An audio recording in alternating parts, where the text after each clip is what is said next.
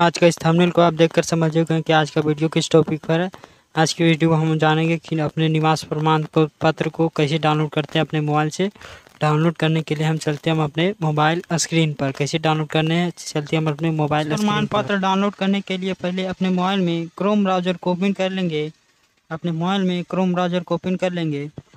Chrome browser को open कर लेने के बाद अपने क्रोम ब्राउज़र सर्च में टाइप करेंगे।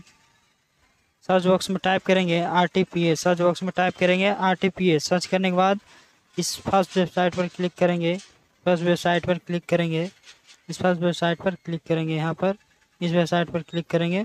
चलिए क्लिक करते हैं, क्लिक करने के बाद, क्लिक करने के बाद कुछ देर लोडिंग लेगा, आपका वेबसाइट ओपन होने के बाद नीचे स्क्रॉल करेंगे, नीचे स्क्रॉल करेंगे, नीचे स्क्रॉल करेंगे, यहाँ पर देख सकते हैं यहाँ से यहाँ से आप देख सकते हैं, यहाँ से सर्टिफिकेट डाउनलोड यहाँ से देख सकते हैं, यहाँ से सर्टिफिकेट डाउनलोड यहाँ से देख सकते हैं, यहाँ पर क्लिक करेंगे सर्टिफिकेट डाउनलोड करें, यहाँ पर क्लिक करेंगे क्लिक करने के बाद कुछ इस तरह का पेज खुलेगा, यहाँ पर अपना रेफरेंस नंबर को डालेंगे, यहाँ पर अपना रेफरेंस नंबर को डालेंगे एप्लीकेशन रेफरेंस नंबर को डालेंगे, यहाँ पर अपना रेफरेंस नंबर को डालेंगे, चलिए रेफरेंस नंबर को यहाँ पर डालते हैं।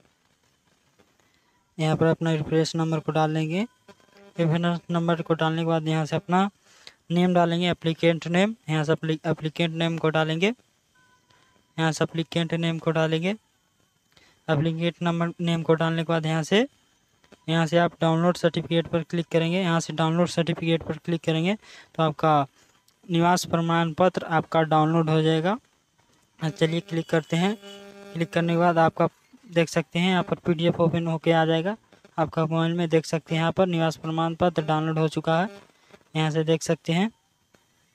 यहाँ पर देख सकते हैं, आपका निवास प्रमाण पत्र डाउनलोड हो चुका है।